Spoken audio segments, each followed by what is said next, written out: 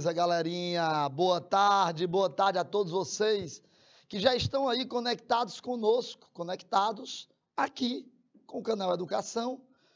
Você que pode estar aí conectado com a gente através do YouTube, pode estar conectado com a gente através do IPTV. Eu sou o professor Técio Câmara, sou professor de Biologia e nós temos uma aula hoje, neste sábado letivo, 3 de setembro de 2022. Sejam todos muito bem-vindos. E hoje não poderia deixar de trazer uma musiquinha bacana para descontrair nesse sábado. Rapaz, está quente ali fora, hein? Meu irmão, Santa Maria da Codipe. Essa música é do tempo do professor Caio Breno. A música é bonita demais, rapaz. Meu mel. Diz assim, ó. Fica comigo, meu mel. Tiro a Deus das mãos. Não, eu, eu sei, calma. Não me entregue a solidão, meu mel, porque eu preciso de você. Lembrar da nossa canção, dos nossos sonhos, enfim. O que fazer de tantas coisas sem ter você? Um pedaço bom de mim. Todo mundo. Meu mel, não diga adeus. Eu tenho tanto medo de ficar sem o seu amor e para sempre ser o seu só. Rapaz, essa música, meus queridos, eu quero fazer aqui uma, uma, uma, uma reparação, porque a maioria das pessoas, principalmente o pessoal mais novo, né? Aí a galerinha dos seus 15 a 20 anos, é o pessoal que está acompanhando aí essa, esses cantores estão fazendo sucesso aí, e aí teve um cidadão que gravou a música, ficou belíssima, né? que foi o Zé Vaqueiro, mas a música não é dele. A música é de Marquinhos Moura. Talvez você mais novo, com certeza, não vá saber quem é. Dá uma pesquisada aí, cara, vale a pena. Boa tarde, queridos. Boa tarde. É o quê? Essa canção dá vontade de chorar. Mas a música é bonita. A letra é bacana. A melodia também, né? É, dá, uma, dá uma lida nela aí que você vai entender, Gabriel, tá? Dá uma lidazinha aí que você vai entender. Ela é boa, muito boa. Muito bacana. Galera, vamos lá então. Vamos começar a nossa aulazinha de hoje. E hoje nós vamos tratar sobre 3 de setembro, né? Vamos tratar sobre fazer uma revisão, na verdade, né? Organizando a diversidade dos seres vivos. O nosso conteúdo de revisão da nossa aula de hoje. Está aí, ó. E o objetivo é compreender a importância biológica dos diferentes grupos de plantas, suas principais características, sua correta classificação e seu modo de reprodução. Lembra que ao término a gente tem umas questõezinhas para discutir, hein? Eu sempre coloco essas questõezinhas para você. E ainda coloco é, para você, uma, vou deixar uma questãozinha para casa, tá? Eu vou deixar uma questãozinha para casa. Pessoal, para a gente poder entender como se dá o mecanismo de reprodução, não é? Das plantas, dos seres vivos de um modo geral, a gente precisa saber o que é reprodução, que tipo de reprodução nós temos e por aí vai, né? Beleza? Então vamos lá. Vamos começar aqui falando sobre a reprodução assexuada, tá? As formas de reprodução são duas, basicamente, que são reprodução assexuada e reprodução sexuada. A reprodução assexuada, pessoal, é a forma onde a maioria dos organismos simples encontram para poder reproduzir. É a forma em que a maioria dos organismos simples encontram para reproduzir. Não tem outra maneira. É exatamente essa, tá? É exatamente essa. É uma, um tipo de reprodução mais simples. E aí, antes que você pergunte para mim, professor, tem a ver reprodução assexuada com não ter sexo? Tem a ver reprodução sexuada com ter sexo? Não, gente, não, na verdade não.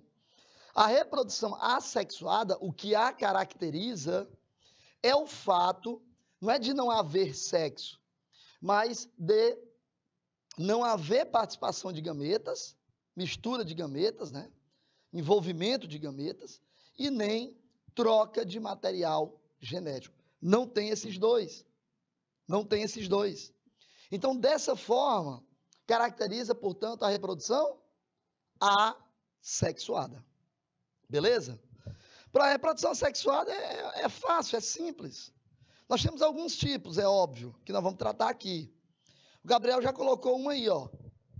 Bipartição ou cissiparidade, né? Colocou que é a forma como as bactérias se reproduzem. E é verdade. Bipartição ou cissiparidade, tá? É a maneira que elas encontram. E, aliás, elas se reproduzem bem rápido, né? Se, se elas encontrarem um meio onde elas possam infectar e esse meio estiver em condições é, adequadas para elas se reproduzirem, meu amigo, elas se reproduzem muito, muito, muito rápido, tá? Muito rápido. Pra vocês terem uma ideia, elas se reproduzem em média a cada 20 minutos. Então basta você fazer uma conta aí. Se você tem mil bactérias colonizando, por exemplo, um dente seu, né? Colonizando, por exemplo, uma garganta, né? A, a holofaringe. E depois de 20 minutos, reproduziram mil deram origem a 2 mil, 2 mil bactérias. Mais 20 minutos, 40 minutos. Agora nós não temos mais 2 mil bactérias, e sim 4 mil bactérias. Depois, mais 20 minutos, 60 minutos, uma hora. 8 mil bactérias. Galera, presta atenção. Em uma hora, em uma hora, ao invés de você ter mil bactérias, cara, você tem 8 mil bactérias.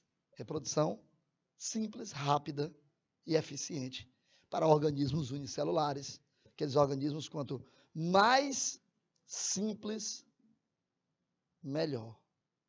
Duas mil em um único dente? Meu Deus, a Érica tá. A Érica tá. É, é, vamos dizer, assustada. Érica, deixa eu te dizer uma coisa. O paciente às vezes se queixa de dor latejante. Dor latejante, dor latejante. Com certeza existe infecção. Obviamente, um processo inflamatório. Do contrário, ele não estaria latejando. Beleza? Quando você abre o dente, faz o acesso coronário, você só vê uma coisa: Sabe o que é? Pus. Coleção de pus. Olha, deixa eu te falar um negócio, Érica. Existem casos que eu não tenho nem como te dizer, mas só de casos que eu conheço, não é? Claro que nós estamos falando de um tumor odontogênico, né, bem grande, que você passa aí mais de uma hora drenando pus. Você imagina aí, se tem duas mil bactérias? Eu acho que eu respondi a tua pergunta, né? mais de uma hora drenando pus. Claro que nós estamos falando de um caso mais, mais complicado, por exemplo, no caso de tumor odontogênico, mas é muita coisa. É muita coisa. Professor, e a reprodução sexuada? É porque tem sexo? Claro que não. Claro que não. A reprodução sexuada é porque você tem é, participação de gametas e troca de material genético. Pronto, caracterizou uma reprodução sexuada. Muito bem. E a reprodução assexuada? Você está vendo esse bichinho aqui? Meu Deus, o que é isso? Santa Maria da Vassoura. Que animal é esse, meu Deus? Este animal que você está vendo do lado direito, nesta imagem, tá? Chama-se planária. Deixa eu ver se eu botei o nome dela aqui. Ah, tá aqui, ó, planárias. Planárias podem se reproduzir assexuadamente. Pode. Ocorre uma laceração e uma posterior regeneração. Professor, e por que, que um dedo nosso não regenera, uma perna nossa não regenera? Meu querido, um animalzinho como esse que você está vendo, a planária, é um platelminto, é um animal de corpo achatado dorsoventralmente. É um animalzinho que ele tem uma alta capacidade regenerativa, mas é um animal simples, cara. E aí, filhinho, quanto mais simples for o animal, mais fácil será de ocorrer uma regeneração. Sacou? Mais fácil será de ocorrer uma regeneração. É claro, não é? É lógico. Então, não tenha dúvida nenhuma de que isso depende do grau de complexidade desse animal, né? Então, você está vendo aqui uma laceração. Aqui é porque ele botou mostrando só a regeneração dela. Mas isso aqui, por exemplo, é uma forma de reprodução, uma vez que uma planária dessa lacerada tem a capacidade de formar duas. Capacidade de formar duas. Beleza? Não é legal, gente? É bacana demais. É claro, né, gente? Você não vai pegar uma planária e colocar no liquidificador e esperar que cada pedacinho formado dessa planária, né, dê origem a outra planária. Não, também não é assim, né? Também não é assim. O Gabriel está perguntando qual a diferença da lesma para uma planária, professor. Vamos lá, Gabriel. Volta para mim aqui. Isnaba Lavoisier. Isnaba Lavoisier. O nome do homem invocado. Isnaba Lavoisier. Muito bem. Queridos, volta aqui para mim, por favor. É, deixa eu explicar para você. Gabriel, quando a gente fala de planária, nós estamos falando de platelmintos. Quando eu falo de lesma, eu estou falando de molusco. Beleza? Então, para começar a história aí, a diferença é muito grande. Os moluscos é, são animais que têm um índice, um nível de complexidade maior do que as planárias. Tá bom? Mas vamos lá, vamos passar adiante. Tá aí, reprodução assexuada, você está vendo isso aí? É uma esponja marinha. É uma esponja marinha. A esponja do mar, né? É um animal céssio, ele não se locomove, não tem capacidade de locomoção, animal céssio, tá? É um animal que possui é, uma alta capacidade regenerativa também, por quê, professor? Só para tu ter uma ideia, os poríferos são os primeiros animais na escala zoológica. Começa com eles, né? Começa com eles. É, porífero, quinidário, platelminte, nematelminte, molusca, nerblídeo, artrópode, equinodermos e cordados. Então, são os primeiros. Então, são animais realmente muito simples. Tá? É, nós estamos falando de um tipo de, de, de reprodução aqui, galera, bem conhecida da gente chamada brotamento, onde tem o surgimento de um broto. Um broto é uma protuberância formada lateralmente ao corpo e que a partir daí, a partir daí, você tem a formação de um novo indivíduo. Aliás, esse novo indivíduo pode ou não estar ligado, continuar ligado a esse a essa esponja, tá bom? Então tá aí, ó. Olha aí, o, Gabriel lembrou aí de um personagem desanimado chamado Bob Esponja Calça Quadrada. É o Bob Esponja.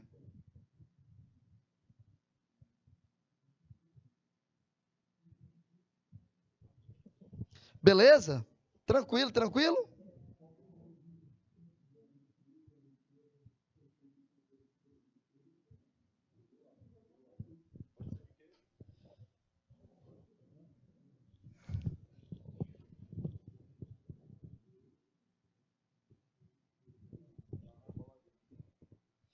Bom, vamos lá, galerinha.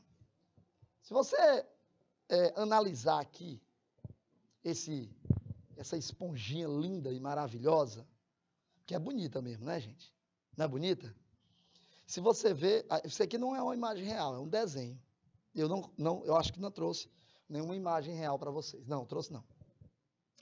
Cara, é linda demais. Tem esponjas que o ser humano fica do lado dela do lado, preste atenção, esponjas que o ser humano fica do lado dela e é muitas vezes maior do que o ser humano. Muitas vezes maior do que o ser humano. Só para você ter uma ideia bem aí, né?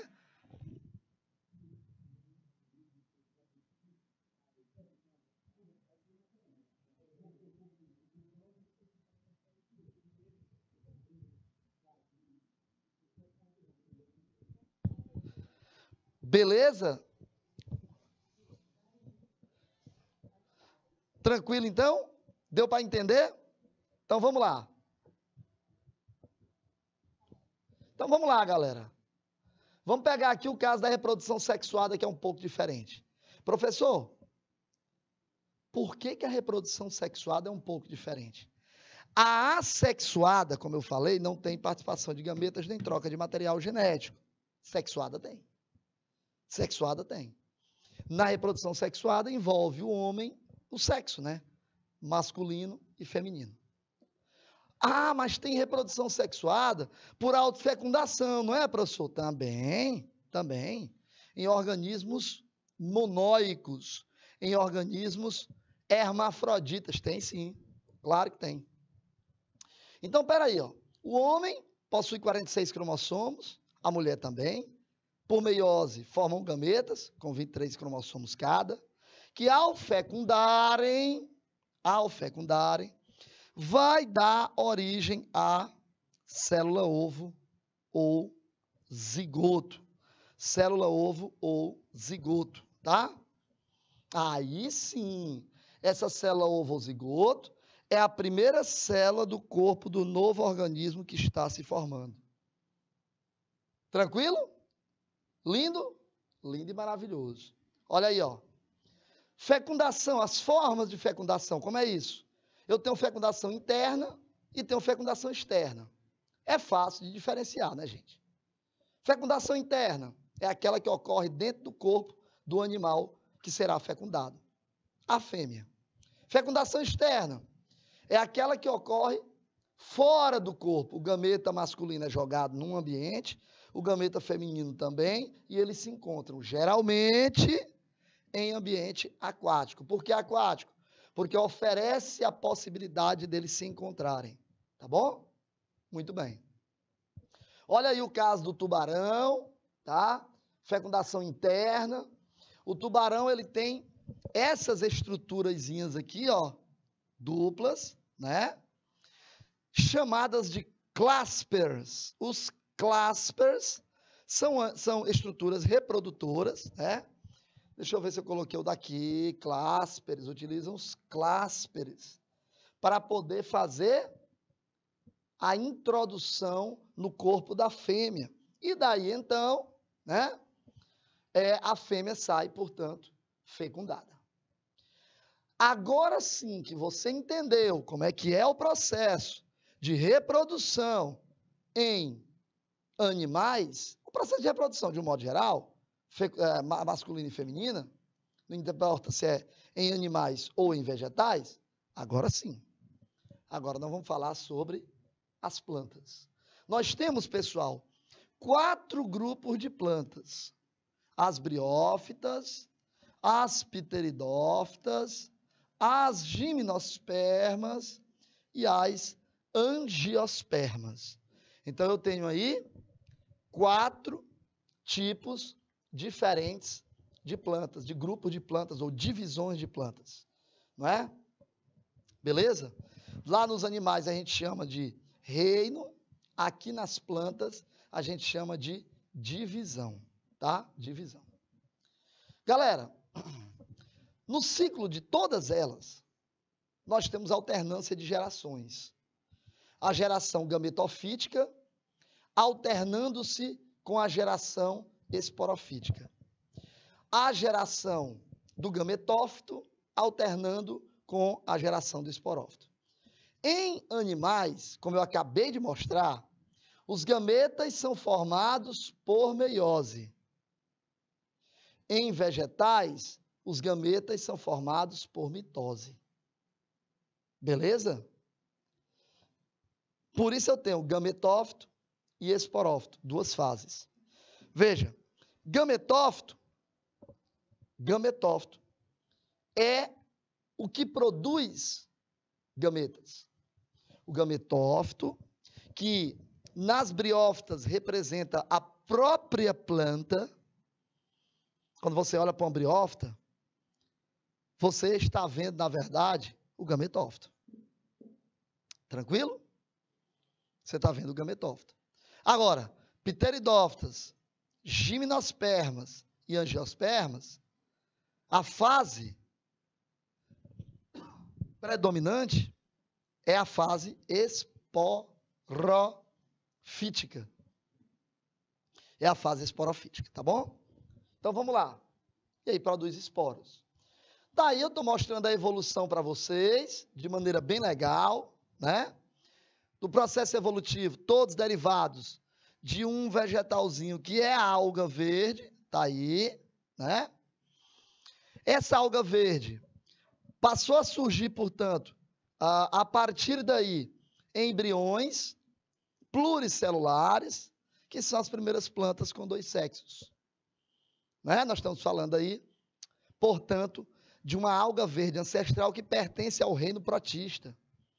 E aí veio quem? Briófita. Briófita. Surgiram os vasos condutores de seiva, pteridófitas. Surgiram as sementes, gimnospermas. Surgiram flores e frutos, angiospermas. Então, essa é a sequência evolutiva de surgimento dos vegetais. Agora sim, dá para eu mostrar para vocês o processo de reprodução. As briófitas, quando, como são vegetais muito, muito, muito é, simples e pequeno, são totalmente dependentes da água para o processo de reprodução. Então, nós temos aqui, por exemplo, né, é, como eu disse a vocês, o, o gametófito é a fase predominante. Está aqui os gametófitos jovens. Aqui está o gametófito adulto masculino, o gametófito adulto feminino. O gametófito masculino possui gametanjo, que, possui, que produz gametas, né? Está aqui o gametanjo feminino, está aqui o gametanjo masculino produzindo gametas. Qual que é o nome do gameta masculino? Anterozoide. E do feminino? Oosfera. Eles se juntam. Ao se juntarem, você tem a formação do zigoto, que, por mitose, se reproduz, gera o esporófito jovem, que possui esporanjo, que vai produzir esporos num processo de mito, desculpa, desculpa, 2N para N, meiose, né? Tá certo aqui, só completar. 2N para N. Ocorre a dispersão, a germinação desses esporos e outro gametófito é produzido. Beleza? Muito bem.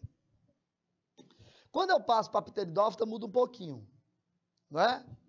Ainda dependem da água para a fecundação, mas não há uma necessidade tanto quanto é, o, as briófitas, tá? Então, eu tenho aqui, a partir de pteridófitas, a fase predominante não é mais gametófito, é esporófito.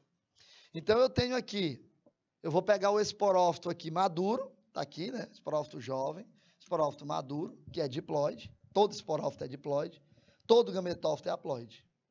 O esporófito possui esporângios, eu já disse isso no anterior, que produz esporos por meiose. Repare aqui que o esporanjo é 2N, mas o esporo é N. O que me diz que houve uma divisão do tipo reducional. Beleza? Ah, os esporos são dispersos, formam o gametófito jovem. Esse gametófito jovem amadurece.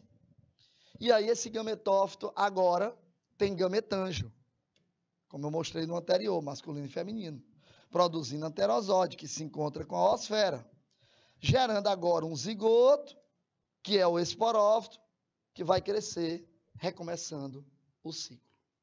Não é lindo isso? Cara, é massa. Muito legal. Gimnospermas, lembra? Gimnospermas nós temos o aparecimento de quê?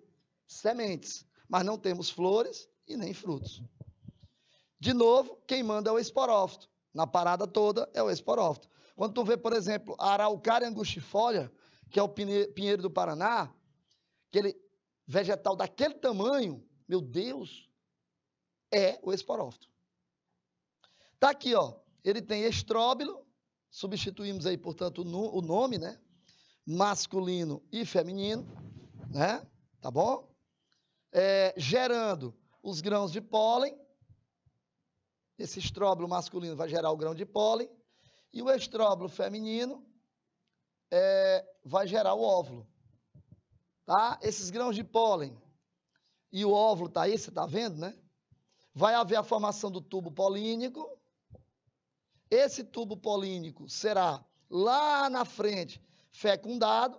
O óvulo vai ser fecundado é, com o grão de pólen passando aí pelo tubo polínico, revestindo né, a estrutura do, da semente. Você tem essa, essa casca, né? A semente, na verdade, ela é o quê? Uma casca protetora dizendo que ali tem um embrião. E essa casca protetora, ela tem tego, ela tem nutrientes, tá? É uma reserva de nutrientes. Por isso que a semente fica um monte de tempo aí sem simplesmente fertilizar. Ela não, ela, ela não, ela não surge, ela não, não, não surge, ela pode ficar um bocado de tempo. E um dia você plantar simplesmente ela surgir. Tá? Que vai, portanto, essa semente vai, portanto, dar origem a uma nova plantinha. Tá?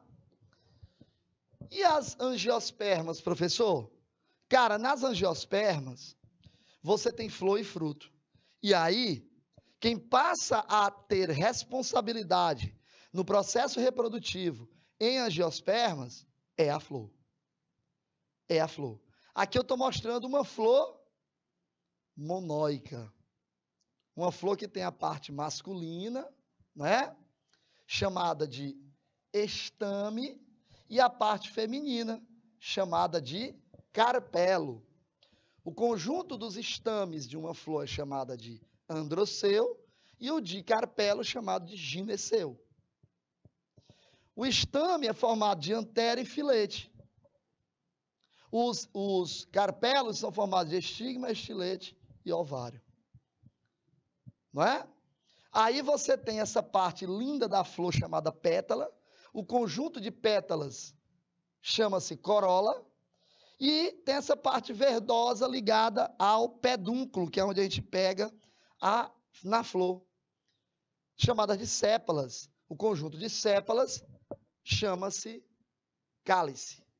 E aí o processo de reprodução, como eu estou dizendo, ó, a antera libera o micrósporo, que é o, se transforma em grão de pólen, chega até o estigma, entra pelo tubo polínico, ocorre, portanto, a formação desse tubo polínico, formação, portanto, é, depois da fecundação, que é aqui, ó, a fecundação ocorre aqui, ó processozinho aqui, ó, tá? Você tem a formação do embrião aqui, ó, que é diploide, né? E você tem daí a formação do novo indivíduo. Olha aqui ele germinando, né? Eixo é, hipocótilo ou radícula e eixo epicótilo ou caulículo, gerando para baixo a raiz e para cima o vegetal. Volta para mim, Isnaba. Vou colocar uma questãozinha aí para vocês. Eu quero a participação, hein? Cadê a galera? Cadê o povo de Jeromênia? Cadê os que estão aí no, no YouTube? Primeira questão. Põe na tela, por favor. As hidras apresentam uma forma peculiar de reprodução assexuada. Nesses organismos, forma-se uma massa de células dividindo-se por mitose, gerando uma pequena hidra que se separa do organismo parental e inicia a vida livre. Esse processo é conhecido como? É, tá fácil. Essa daí tá, tá boa demais. Dois minutos e eu volto com o gabarito e o comentário. Até já.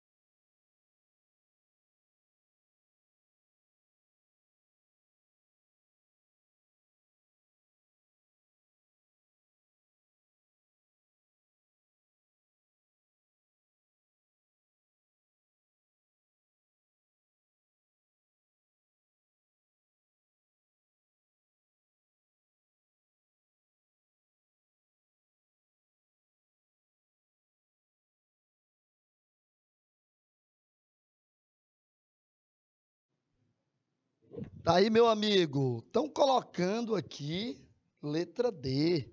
Tanto o Gabriel quanto a Érica colocaram letra D de dado, tá? Tá perguntando se as hidras são filhas das esponjas? Não, Gabriel, as hidras são filhas dos quinidários. Quinidários ou selenterados, tá bom? Vamos lá então? Gabarito? Letra D, galera, brotamento. Ei, professor, como é que eu sei que isso daí é um brotamento? Algumas, algumas, é, algumas dicas. Reprodução assexuada, massa de células divididas por mitose, gerando uma pequena hidra que se separa do corpo parental e inicia sua vida. Isso aí nos dá essa informação. Vamos para a próxima?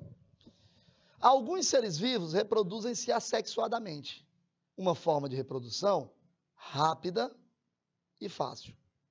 A desvantagem desse modo de reprodução, qual é a desvantagem da reprodução assexuada? Tem a ver com a genética, um pouquinho a ver com a genética. Hã? Dois minutinhos e eu volto para comentar isso com vocês. Até já.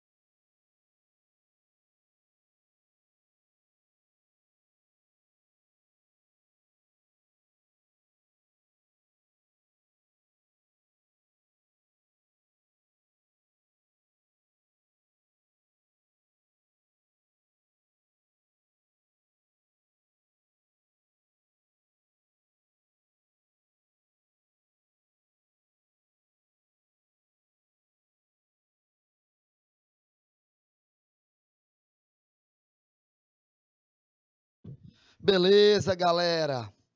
2, letra A. Vamos ver se é isso mesmo? Vamos ver se o gabarito correto é letra A? Olha aí. E é isso aí, gente. Deixa eu explicar para vocês qual é o problema. O problema da reprodução assexuada, seja de que forma fosse a reprodução assexuada, bipartição, brotamento, regeneração, não importa. É que não há variabilidade genética. E aí, gente, vocês sabem que sem variabilidade genética, você diminui as chances de sobrevivência da espécie, porque você não tem variações. Tá bom? Show? Muito bem. Vamos para a próxima. Existem diversas formas de reprodução encontradas no reino animal, que podem ser classificadas em dois grandes grupos: reprodução sexuada e reprodução assexuada. Sobre isso, analise as afirmações abaixo. Eu tenho três afirmações que você vai ler e me dizer o que está correto. Se é A1, se é A1 e A3, se é A2, se é A2 e A3 ou se é A3. Hã? Dois minutinhos. E eu volto. Até já.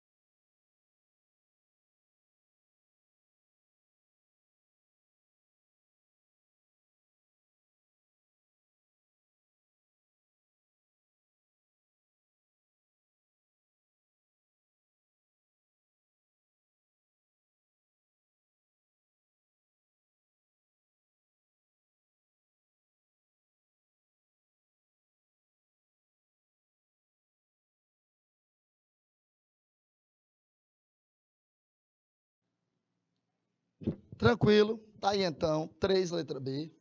Vamos ver se é isso mesmo? Olha só, acompanha comigo. O brotamento é um processo de reprodução assexuado. Sim. Que tem como fator positivo o fato de necessitar de um gasto energético menor, uma vez que dispensa o acasalamento. Olha aí, letra B de bola, 1 e 3, verdade. O que está errado no 2, professor? A partenogênese, partenogênese é o desenvolvimento de um ovo sem ele ter sido fecundado. Processo em que o óvulo não fecundado desenvolve um novo indivíduo diploide, opa, está errado. Já está errado. Por quê? Porque aí o organismo ele é haploide, partenogênese, e o organismo é haploide. A Érica pediu para eu explicar, está explicado. É quando você tem, ô, Érica, um óvulo que ele não vai se, ele se, começa a se desenvolver, sem que ele tenha sido fecundado, porque para ele se desenvolver é preciso fecundação, como eu expliquei aqui. Mas na partenogênese isso não ocorre. Questão 4. Sobre a reprodução assexuada, marque a alternativa incorreta. Incorreta. Qual é a alternativa incorreta quando as, aqui destas que você encontra, quando o assunto é reprodução assexuada? Hã? Fácil. Não tem muito mistério, não. Dois minutinhos. Essa daí tá tão fácil que eu vou deixar só um minuto, Isnaba. E a gente volta. Até já.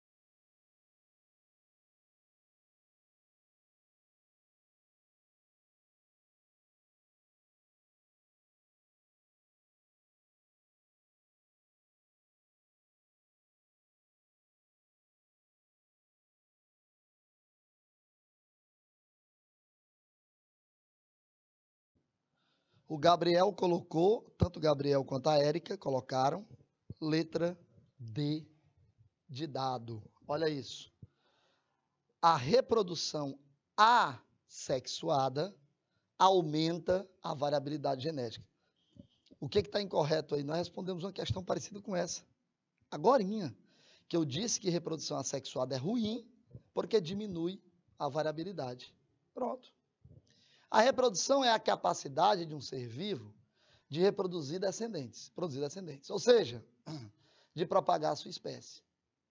Por muito tempo acreditou-se que microorganismos eram incapazes de se reproduzir. Entretanto, hoje se sabe que até mesmo bactérias apresentam reprodução. Ora, mas se vírus reproduz, imagine bactéria.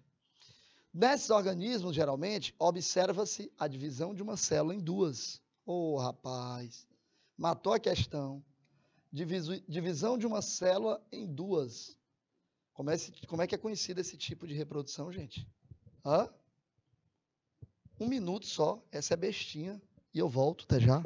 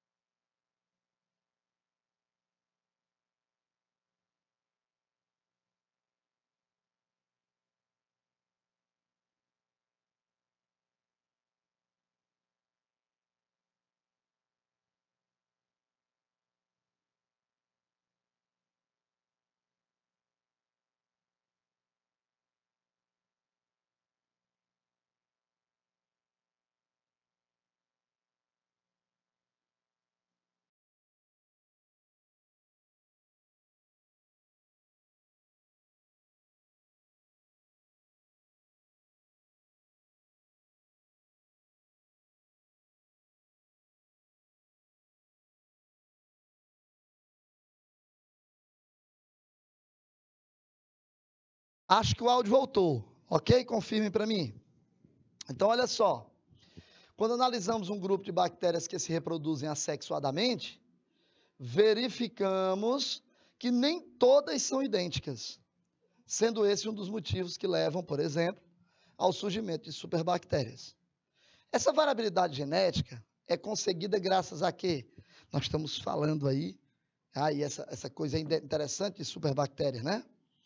Mas é fácil, um minuto só, eu já respondi duas questões sobre isso. Um minuto e eu volto. Até já.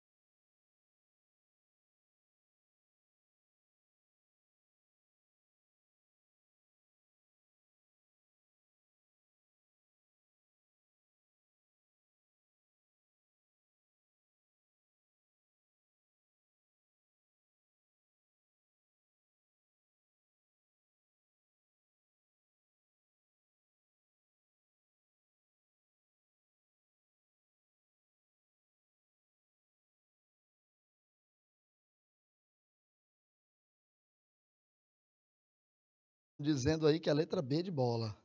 6, letra B de bola. É isso mesmo?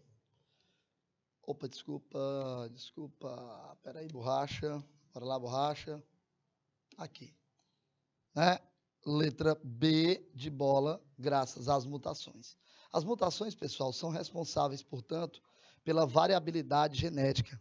E no caso das bactérias em particular, a razão pela qual elas conseguem gerar superbactérias. Ao analisar alguns anfíbios em seu momento de reprodução, percebeu-se que alguns realizam fecundação externa. Um aluno, então, concluiu que se tratava de uma reprodução assexuada, fecundação externa. O aluno está correto? Essa é boa, hein? Dois minutos e eu volto. Até já.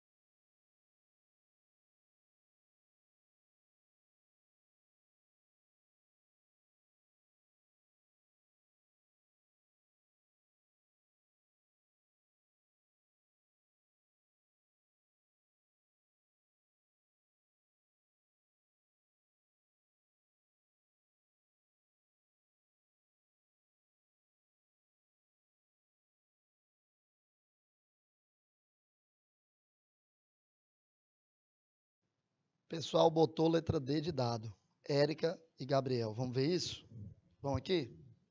Questão de número 7, letra D. Não, é óbvio que não.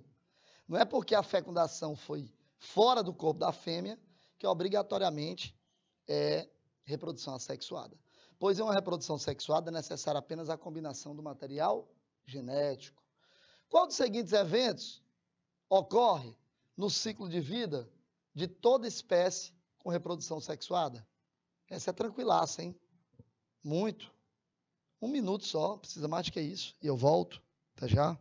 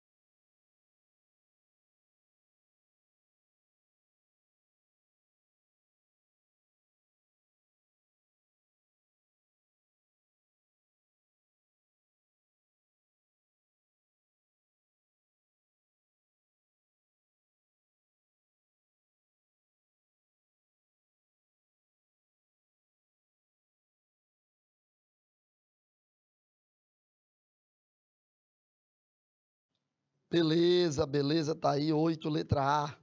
Essa tá fácil, tá, gente? Vamos combinar? Não é?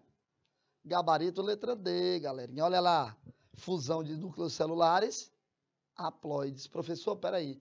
Qual dos seguintes eventos ocorre no ciclo de vida de toda espécie com reprodução?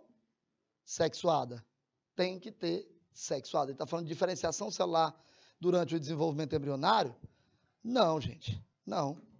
Ah, inclusive, se nós estivermos falando de organismos é, simples, isso não vai acontecer, porque são muito simples. O processo de diferenciação é muito mais à frente. Nós estamos falando de reprodução e não de desenvolvimento embrionário. Nove, quando falamos em reprodução sexuada, podemos afirmar com certeza que e 10. Essas duas são para casa. Na reprodução sexuada, percebe-se o envolvimento dos gametas. Sobre eles, marque a alternativa incorreta. Olha para cá. Eu vou dar um minuto aí para os alunos copiarem a questão para casa e dou um minuto no outro para eles copiarem também. Vai lá, Arisna, por favor.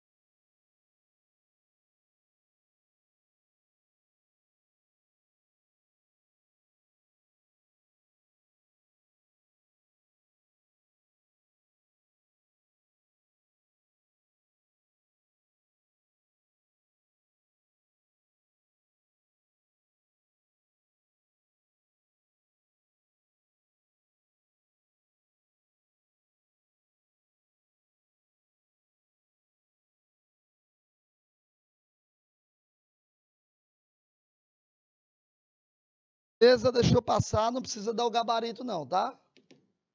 Eu estou passando aqui só para você copiar. Você vai fazer isso para casa, tá? Um minuto nessa daí, então.